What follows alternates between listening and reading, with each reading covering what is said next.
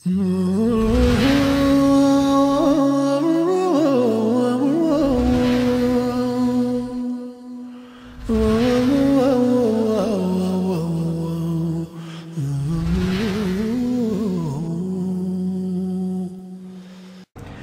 brothers and sisters in Islam, the first advice that is the most beneficial advice that is repeated so often, and it is that which is needed by one and all, is the advice to be conscious of Allah subhanahu wa ta'ala, also known as taqwallahi. It is important for us to develop the consciousness of Allah. If you would like to be saved from the calamities of this world, and the hardship of the grave and the difficulties of the hereafter, you need to be conscious of Allah. You need to develop the fear of Allah with love. What that means is when you love Allah subhanahu wa ta'ala so much, you will not want to displease Him. Therefore, you will not engage in that which He has prohibited. So, this is the development of taqwa. Taqwa is the fear of Allah coupled with the love of Allah subhanahu wa ta'ala, where you love Allah so much that you don't do things that will displease Him. Remember this. And you are always conscious of the fact that you are going to return to Allah subhanahu wa ta'ala. Today, I wish to speak about cleanliness. And you and I know when we say cleanliness, the first thing that comes to our minds is to have clean clothes, to look smart, to look prim, and to look prop.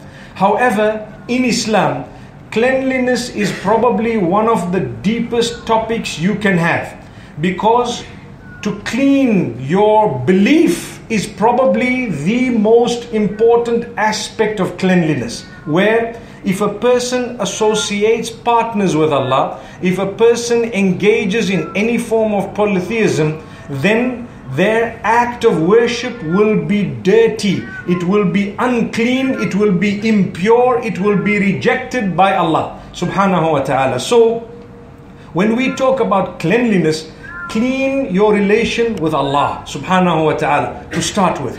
Make sure when you do deeds, you do them for the sake of Allah subhanahu wa ta'ala. Similarly, clean your relationship with Muhammad sallallahu alayhi wasallam. How do you do that? By accepting him truly as a prophet of Allah sallallahu alayhi wasallam as a messenger of Allah subhanahu wa ta'ala what does it mean? People might say well i believe in muhammad i am saying believe in him truly because to say la ilaha illallah muhammadur rasulullah is very easy.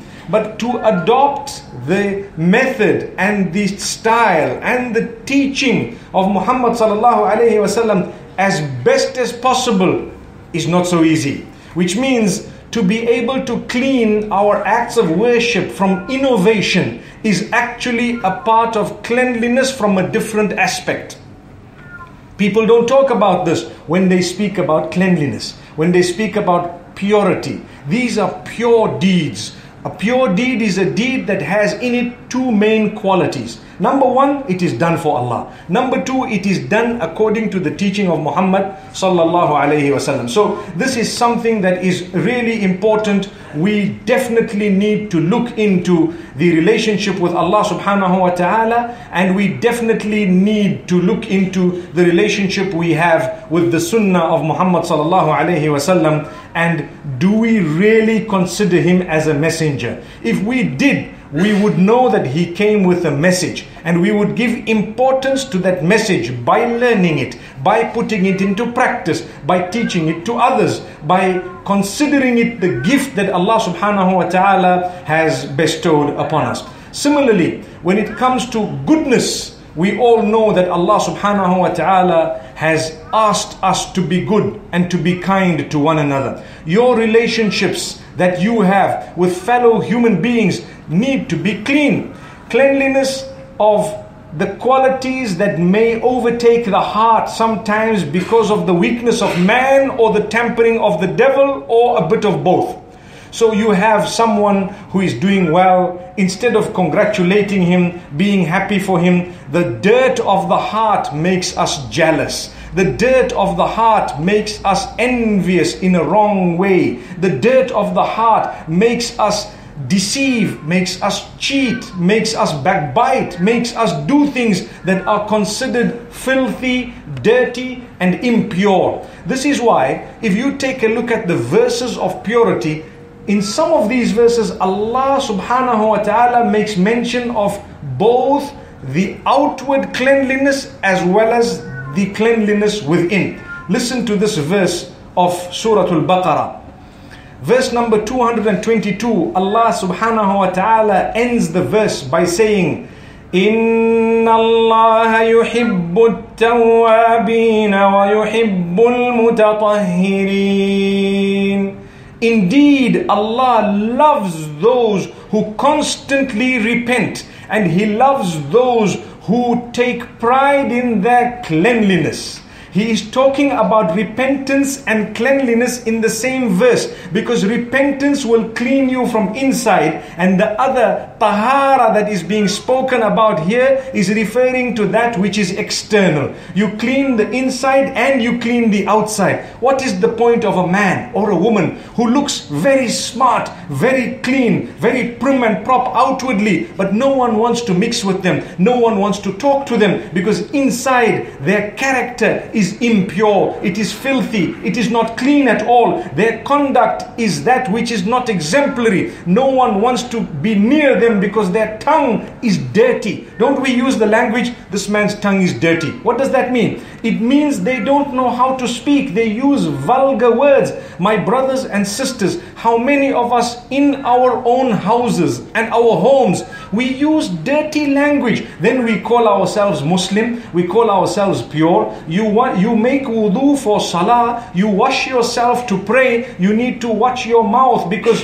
even if you make wudu 10 times a day for 10 different prayers that you may have, the five compulsory and several other voluntary prayers, if your tongue is dirty, you still need to do more to be a good Muslim. Some people think if I read my salah, that's okay. I'm a good Muslim. I can swear my wife. I can beat people up. I can cheat. I can steal. I can deceive. For as long as I'm reading five salah, I'm a good Muslim. My brothers and sisters, do not be deceived by shaitan. A good Muslim is he or she who has developed his character and conduct. Two types of relationships the relationship you have with Allah and the relationship you have with the rest of the creatures of the same Allah. The relationship you have with Allah is one, and the relationship you have with the rest of the creatures of the same Allah, which includes animals, it includes birds, but more importantly, human beings. How is your relationship at home? My brothers and sisters, control the tongue, clean it Make sure that it is clean. It is part of tahara. It is part of purity. May Allah subhanahu wa ta'ala grant us both the tawbah that is being spoken about in this verse as well as the external cleanliness so that we can be clean inside out and a pleasure to interact with. When someone is clean inside out, that is the best person you can interact with most pleasing. You are happy to mix with them, to befriend them. You will get goodness from them. You will learn cleanliness from them and purity, and you will enjoy a beautiful relationship. May Allah subhanahu wa ta'ala make us from those who improve ourselves. And this is why, if we take a look at Sahih Muslim, the hadith says, At-tuhuru shatrul iman. Cleanliness is a large part of faith. Shatr sometimes refers to half. Half of it. Why? Why does Allah say this subhanahu wa ta'ala through the blessed lips of Muhammad sallallahu alaihi wasallam? Because it is far more than simple external cleanliness. If someone says, make sure you are clean, we think of one small aspect of cleanliness. Sometimes the mind is dirty. Sometimes the tongue is dirty. Sometimes the way we use our eyes is dirty. Sometimes our habits are dirty. This is what dirt refers to. When people say clean yourself, clean your mind. We have dirty thoughts. We look at people, we think the dirtiest things. Have a good thought. Clean your mind. Remember this. What's the point of washing so much with soap? But your mind needs to be washed with a different type of soap. You need to clean your mind. Do not have a dirty mind. When you see a person of the opposite sex, for example, think respectful thoughts. Do not think dirty, cheap thoughts, because that is part of cleanliness when you have cleaned your mind. When you see people think of the best possible thing in Islam, it is called husnul dhan to have a good perception of someone when they are doing something by the will of Allah subhanahu wa ta'ala. I've just given you an example of cleaning the mind. But wallahi, my brothers and sisters, even when we go to places, we need to clean our act. We need to make sure we go to good places, halal, that which will earn the pleasure of Allah. I promise you, none of us knows in what condition we will die. Keep on asking Allah subhanahu wa ta'ala to grant us death in such a way that we are in His obedience at that time. Amen. Imagine a person who sins, his act is dirty. May Allah not do such that we die during the worst of our days. اللهم اجعل خير أيامنا أواخرها وخير أعمالنا خواتيمها Oh Allah, make the best of our days the last days before we leave and make the best of our deeds the last deeds before you take us away. That is a beautiful dua. Also, my brothers and sisters, you know, when it comes to the five daily prayers, we make wudu, that is the ablution. There is a hadith where the Prophet ﷺ speaks about, and this is muttafaqun alayh, he speaks about a river. Do you see if there was a river that one of you would use to wash yourself five times a day? Do you think any dirt would be left on that person? If you are washing yourself from a flowing river with clean, pure water five times a day, do you think there will be any dirt left on that person? And the Prophet ﷺ heard the answer from the companions. They said, No, he will not be dirty, he will be clean. So the Prophet ﷺ says, That is the similarity of your five salah. Allah cleans you outside and inside through your five salah. How? Outside because you did the wudu and inside because your salah if it is correct إن الصلاة تنهى عن الفحشاء والمنكر Salah itself will prohibit you from immorality and evil. So you are cleaned inside as well. If you fulfill your salah correctly, you will be forgiven by Allah. And you will be clean externally too. This is important. And this is why the Prophet ﷺ, when he spoke about a certain companion, he told his companions that a man will come to you, a man will enter here who will be a man from Jannah. And this hadith, Rawahul Imam Ahmad, it is in the Musnad of Imam Ahmad. The Sahaba radiallahu anhum were wondering, this man will be a man from Jannah. Later on, when they found out the qualities of this man, they found out that he does not have hatred, ill feeling in his heart against any fellow believer. He has a clean heart. He is a person who makes sure that in his heart he does not have dirt. This shows us that when you have a good heart, that heart which worships Allah alone, that heart which follows the example of Rasulullah and that heart which has a clean feeling towards the rest of us, then you deserve Jannatul Firdaus. You deserve paradise. May Allah subhanahu wa ta'ala grant us goodness. And may Allah subhanahu wa ta'ala grant us the best of this world and the next. Remember, if you would like the best of this world, you need to work hard. Similarly, if you want the best of the hereafter, you need to work very, very hard on your qualities. Just like a person takes great importance in the external cleanliness of himself and he makes sure he washes his hands after he eats. You know, when we eat, what do we do? We wash our hands. Imagine shaking someone's hand and the hand is oily, and then you smell your hand and it is smelling of the latest Indian food. How will you feel? No matter how tasty that food was, for you it is dirty. Am I right? He cannot say, Brother, smell your hand, that was beautiful biryani. He cannot say that.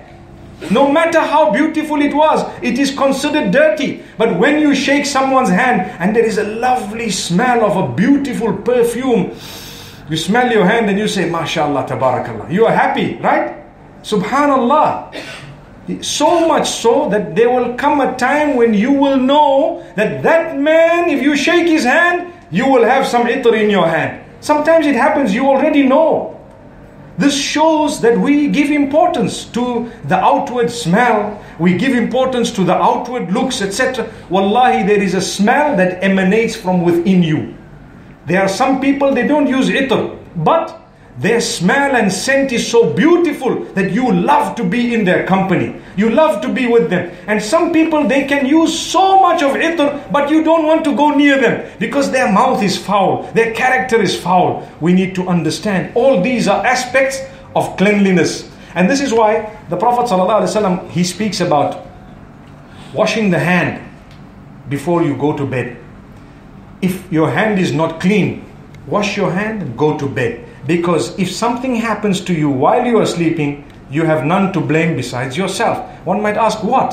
You know, sometimes, obviously, nowadays we are fortunate you just switch on a tap and the water comes out. Still, we don't wash our hands. But at that time, it was tough. People had to go out walking a little bit to get a little bit of water to wash the hand. Perhaps the soap was not like what we have today. You press a button or you just put your hand under and it comes out because there is a sensor. No, the soap was different. They sometimes used to use a little bit of the mud in order to remove the oiliness from the hand. But if they left the oiliness of the food, there was a possibility that a rodent might bite the hand thinking that it is a, some form of food. So when you are bitten at night by a mouse or a rat, don't blame your, anyone besides yourself. The sunnah still applies. Wash yourself. So much so, there is a hadith of Rasulullah wherein he says that whoever sleeps in tahara, they clean themselves and then they sleep, Allah appoints an angel to stand besides that person and make istighfar for them for as long as they are sleeping. It's amazing. It is amazing. It is absolutely amazing. My brothers and sisters, try it out. Try it out. Clean yourself before you go to bed and see the difference that you will have, you will feel. See with what goodness you will get up for Salatul Fajr. You won't be lazy because you slept in a good condition. Sometimes when we go to sleep, we don't know what is our condition. We sleep late. We are busy sitting and watching this and that. And a lot of the times it's just people kicking a ball from pillar to post and we get excited and we miss our Salatul Fajr. And we don't realize you may show an interest when it comes to the ball, but that interest cannot be greater than your interest in Salatul Fajr. It cannot be greater than your interest in your relationship with Allah subhanahu wa ta'ala. So we ask Allah subhanahu wa ta'ala to grant us a lesson. Similarly, in the Quran, Allah tells us about cleanliness. Together with cleanliness, He talks about beauty.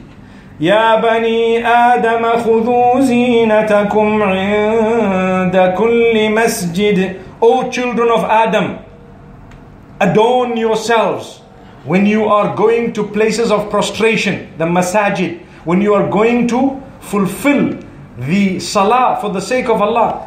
Clean yourself, adorn yourself, make sure you are dressed in a proper way. You are coming to Rabbul Izzati wal Jalal. Make sure you are dressed in a way that is acceptable. Those who take pride in their dressing before they stand in front of Allah subhanahu wa ta'ala, wallahi they have a special relationship with Allah subhanahu wa ta'ala. Because it is another level. It is a totally different level. You are convinced, I'm going in front of Allah, let me put something on which is proper, which is good, which is smart, which is clean, which is neat.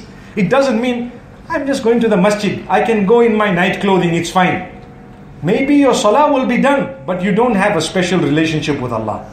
When you have a special relationship, you will make sure that your dress code is absolutely beautiful. May Allah subhanahu wa ta'ala grant us goodness. When it comes to Salatul Jumu'ah, similarly Allah subhanahu wa ta'ala tells us about through the hadith of Rasulullah sallallahu alayhi wasallam a person who bathes on the day of judgment and washes himself as much as he can, and applies some perfume, and goes early to the masjid without breaking sufuf, which means they come so early. When you come early to the masjid, please, my brothers, you need to fulfill the first rows. When you come early, sit in the front in such a way that when someone comes later, they don't have to disturb you by moving your shoulders to walk in the front. So it is best for you, you come early and sit near the front. The hadith says if you knew the reward of the first saf, the first row, people would actually fight for that saf.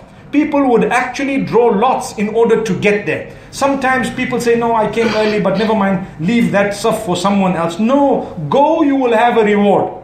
Go and you will have a reward. So the Prophet ﷺ says, if a person bathes on the Friday and they clean themselves as much as they can, and they have applied a good perfume, and they come early to the masjid, and they read whatever salah that Allah has made easy for them, that which Allah has prescribed, and when the Imam comes out, they are quiet, they listen carefully to what has been said, Allah forgives all their minor sins between that Jumu'ah and the previous Jumu'ah. Subhanallah. All your minor sins, as you are walking out, you are clean. What happened? Just by virtue of doing what I said now. Subhanallah. That hadith is in Sahih al Bukhari. We need to understand the power of these words. Take pride in coming early for Jumu'ah. MashaAllah. MashaAllah. May Allah make it easy. Try a few times. See how you feel. And you will want more and more. We are so fortunate in a country like this. Wallahi. There are some of the masajid around us, so many, and they are of a very high standard, and they are absolutely clean and so beautiful. Wallahi, you will be asked on the day of judgment. There was a masjid down the road. Why did you not go there? Wallahi. In other places, people are crying for a masjid. We have it air conditioned, better carpet than my own house, better facility than my own home. But I did not go there. Why? Develop your link with Allah. My brothers, my sisters, we can do better. This is the house of Allah. Go, you will find the peace that you are searching for. Wallahi. May Allah subhanahu wa ta'ala grant us ease. My brothers, my sisters, it is important for us to know that while we are talking about cleanliness and while we are talking about the issue of purity, we need to also purify the environment that we are living in. We need to make sure that we do not litter the place because that is also a part of cleanliness. Very simple act. When you are eating something, don't spit it out on the street when you are eating or drinking something from a packaging, take a moment to put that empty packaging into the right disposing place. Whether it is a bin or whether it is a place that is specialized for the item it is. Sometimes recycled plastic goes into that particular compartment. Make sure you take a moment to protect the environment. Similarly, when it comes to the water and the oceans that Allah has blessed you with, make sure you do not contaminate it with dirt. Make sure that you do not urinate in a place that you are not supposed to be urinating in. Make sure that you do not abuse the environment in such a way that other people will be disturbed by your actions. This is why there is a curse that Rasulullah has made mention of upon a person who relieves himself under the shade of a tree or in the path of the people. It is part of cleanliness. Learn. You want to use the toilet? Do it properly.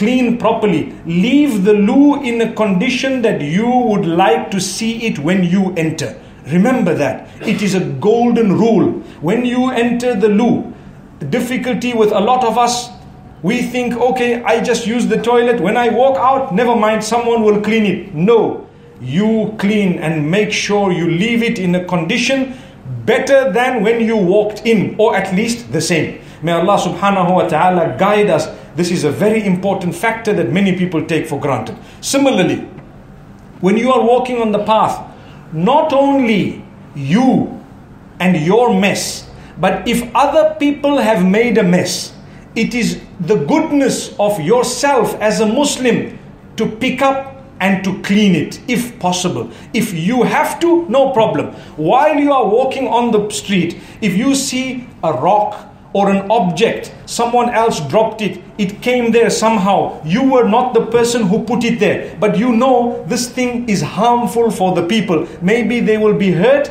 or maybe they will be offended by the smell, or maybe they might hurt themselves or harm their vehicles. For you to be able to remove the harm from the road of the people, the Prophet ﷺ says it is a sadaqah. It is actually such a big charity. This is mentioned in Al-Adab al-Mufrad by Imam Bukhari, rahmatullahi alayh.